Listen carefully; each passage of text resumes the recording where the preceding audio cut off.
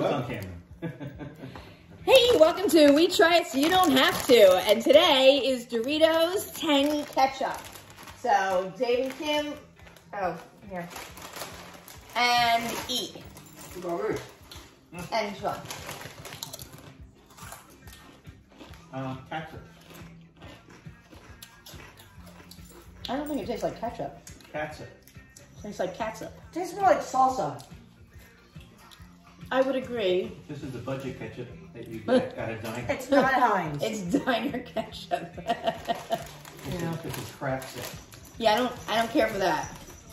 I would say get the spicy mustard. It doesn't suck. It's not, it's Just try it with the spicy mustard. it's All not- right. Yeah. It's not quite a tomato. Right. It's not quite ketchup. It's more tomatoey than ketchup is.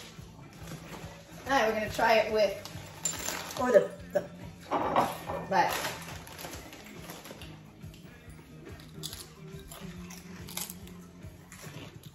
Put that on the hamburger.